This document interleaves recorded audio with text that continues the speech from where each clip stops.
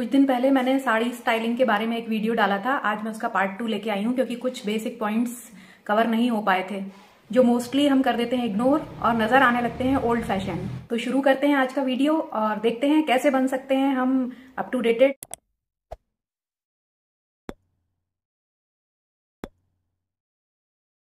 hi you my lovely ladies कैसे हैं आप सब? I hope you all are doing well मैं कंचन, आपका स्वागत करती हूँ अपने channel fashion at the rate forty plus पर।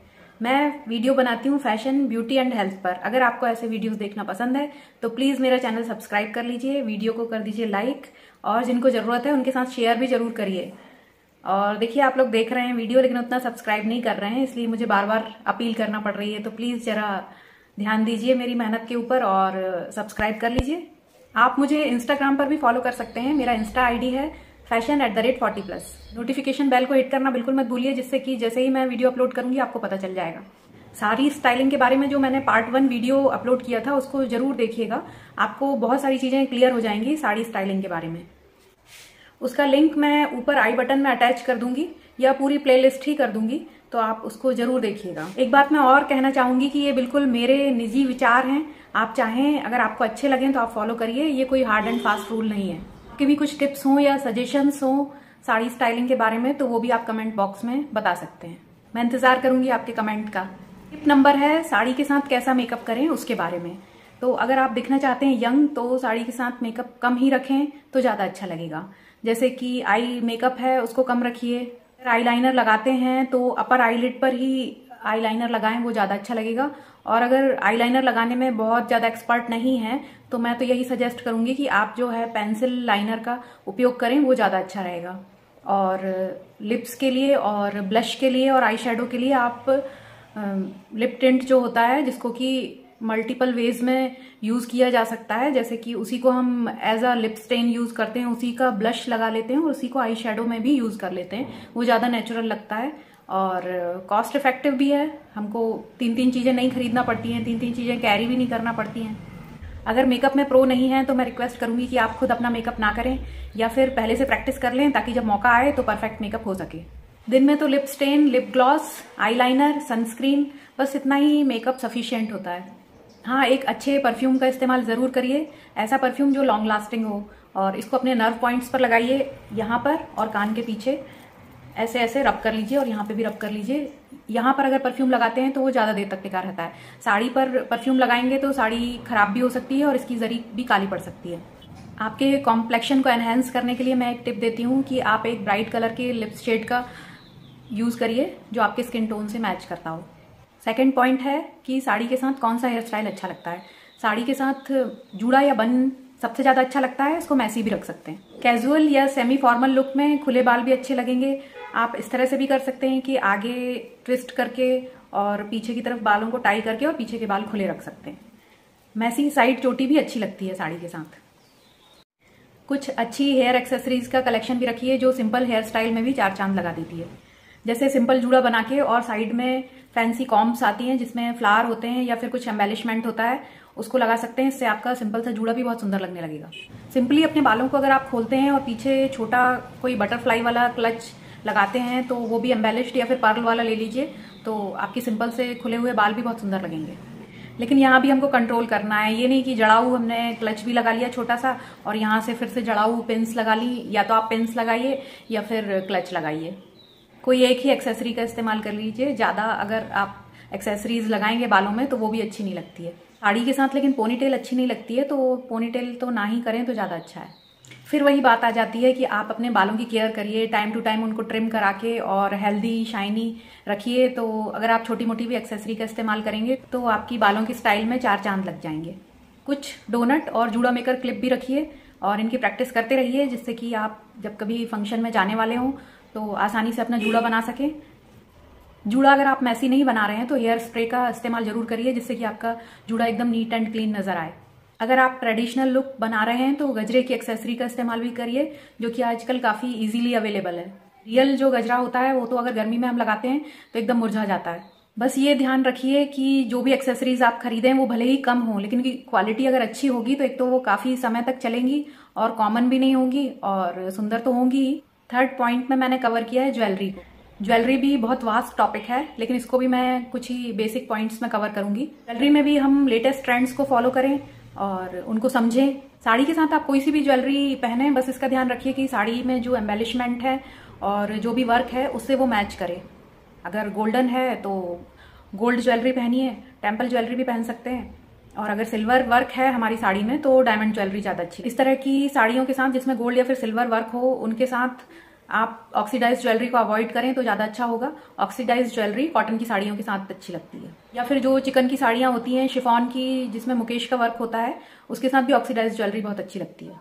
पर्ल ज्वेलरी भी बहुत अच्छी लगती है, लेकिन वो पर्ल की एक स्ट्रिंग पहन लेना बहुत ओल्ड फ़ैशन सा लगता है मुझे और पर्सनली मुझे अच्छा नहीं लगता है वो।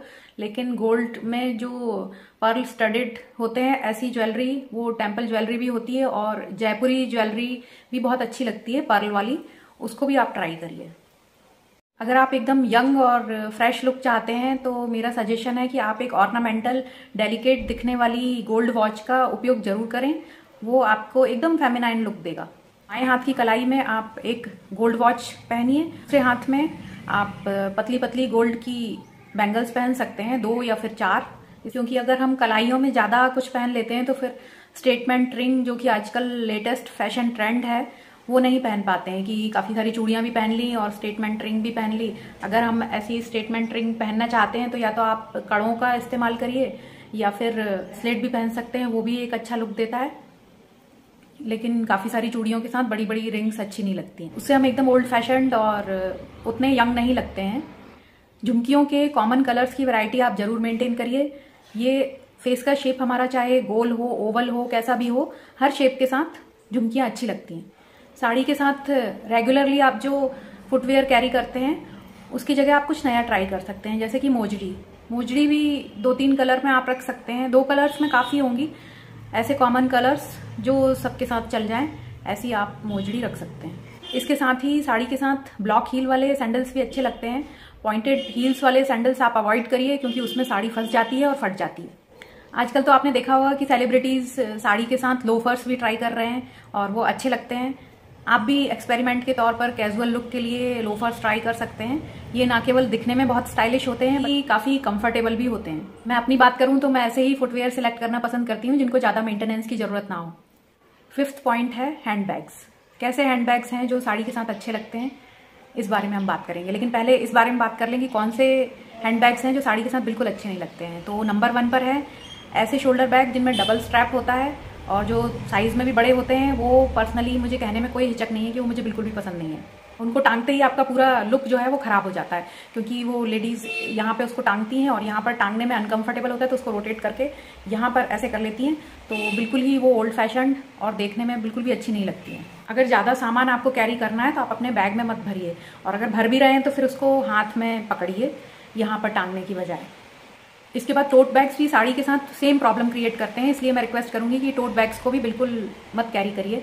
करिए तो यहाँ पर टांगिए मत, हाथ में पकड़ के रखिए। वो उतना ज़्यादा इफ़ेक्ट नहीं डालेंगे, क्योंकि बड़े बड़े अगर हम टोट बैग या फिर शोल्डर बैग टांग लेते हैं तो वो हमारे लुक में एक बड़ा सा वॉल्यूम क्रिएट कर देते हैं साइड में। तीसरे बैग्स जो मुझे बिल्कुल पसंद नहीं है साड़ी के साथ कैरी करना, वो है ऐसे बैग्स जिनमें कोई स्ट्रक्चर नहीं होता है। अब बात करते हैं कि साड़ी के साथ कौन से बैग्स हैं जो अच्छे लगते हैं। उसमें जो सिंगल स्ट्रैप वाले छोटे शोल्डर बैग्स होते हैं, जिनका आजकल काफ़ी ट्रेंड चल रहा है, वो आप कैरी करिए, वो बहुत ज़्यादा ग्रेसफुल लगेंगे। ये लाइट वेट और कंफर्टेबल होने के साथ साथ ही मार्केट में काफ़ी ह्यूज वेराइटी में और लो कॉस्ट में अवेलेबल है। इनमें भी काफ़ी सामान आ जाता है, हमारा मोबाइल आ जाता है पावर बैंक आ जाता है हैंकी आ जाता है एक आध लिपस्टिक आ जाएगी और कार्ड होल्डर आ जाएगा, हमारे गॉगल्स भी इसमें बन जाते हैं। तो इतना सफिशियंट है सामान कैरी करना, अगर हम किसी पार्टी में जा रहे हैं तो। के साथ सबसे ज़्यादा सूट करने वाले बैग्स में से है चेन वाले जो स्लिंग बैग्स होते हैं, वो। चेन वाले स्लिंग बैग्स साड़ी के साथ बहुत ही अमेजिंग लगते हैं और आपको फेमिनाइन लुक देते हैं। ऐसे स्लिंग बैग्स जिनकी एडजस्टेबल चेन हो, वो आप ले सकते हैं। इस तरह से ये छोटी भी हो जाती है और अगर आपको लंबा करके टांगना है तो ऐसे भी आप कैरी कर सकते हैं। अगर आप इतना छोटा बैग कैरी नहीं करना चाहते हैं, कुछ ज़्यादा सामान रखना है तो आप ऐसे ही स्लिंग में थोड़ा सा बड़ा साइज़ का बैग ले सकते हैं, जिसमें आपका सामान बन जाए। और, लेकिन बस वही ध्यान रखिए कि एक प्रॉपर स्ट्रक्चर हो, जैसे कि मेरे बैग में है कि प्रॉपर स्ट्रक्चर है। कई बार ये यहाँ पर भी स्टर्ट्स लगे होते हैं, जिससे कि कहीं पर भी हम पर्स को रखते हैं तो वो क्लीन रहता है। मिंत्रा पर बहुत अच्छे बैग्स अवेलेबल हैं, जो कि स्टाइलिश होने के साथ साथ इकोनॉमिक भी हैं। मैं कुछ बैग्स आपको रिकमेंड करती हूँ अगर आपको अच्छे लगे तो आप ले सकते थर्ड टाइप के हैंड बैग्स होते हैं ट्रेडिशनल जो पोटली होती हैं, वो भी आप कैरी कर सकते हैं। ये साड़ी के साथ बहुत अच्छी जाती हैं और अपनी साड़ी के साथ आप इसको कस्टमाइज भी करवा सकते हैं। साड़ी का थोड़ा सा फैब्रिक आप पोटली में लगवा देंगे तो वो आपकी साड़ी से बिल्कुल मैच कर जाएगा। इसी तरह से ऐसे जो क्लच होते हैं, ये मैंने अमेजोन से लिया था और ये भी काफ़ी अफोर्डेबल है और काफ़ी अच्छा लगता है साड़ी के साथ। इसके अंदर भी ऐसी चेन दी गई है, जिससे अगर मैं चाहूँ तो इस चेन के साथ इसको टांग भी सकती हूँ। ऐसा नहीं है कि मुझे केवल हाथ में ही इसको पूरे टाइम पकड़े रहना है। जैसे कुछ खाना वाना खा रहे हो तो इसको टांग भी सकते हैं। तो इस तरह के क्लच आप ले लीजिए, जो कि काफ़ी अफोर्डेबल कॉस्ट में अमेजोन मिंत्रा पर अवेलेबल हैं। मैं कुछ रिकमेंड कर देती हूँ तो अगर आप चाहें तो उनको ले सकते हैं। आई होप अब आपको काफ़ी कुछ क्लियर हो जाएगा। कि हमको कैसे स्टाइल करना चाहिए, जो हमें यंग दिखाए और स्टाइलिश दिखाए और इसके साथ साथ ही जो फ़ैशन चल रहा है, उसके हिसाब से हम अप टू डेटेड रह सकें। हर छोटी छोटी डिटेल को कवर करने की कोशिश की है, क्योंकि छोटी छोटी चीज़ें ही है, वो बड़ा डिफरेंस क्रिएट कर देती हैं हमारे लुक्स में। तो अगर वीडियो ज़रा सा भी अच्छा लगा हो तो प्लीज़ सब्सक्राइब कर लीजिए वीडियो को लाइक कर लीजिए, और एक प्यारा सा कमेंट छोड़कर जाइए, और जिनको ज़रूरत है, उनको भी शेयर करिए। तो आज की बातचीत का सफ़र यहीं तक, मिलते हैं नेक्स्ट वीडियो में, तब तक के लिए बाय बाय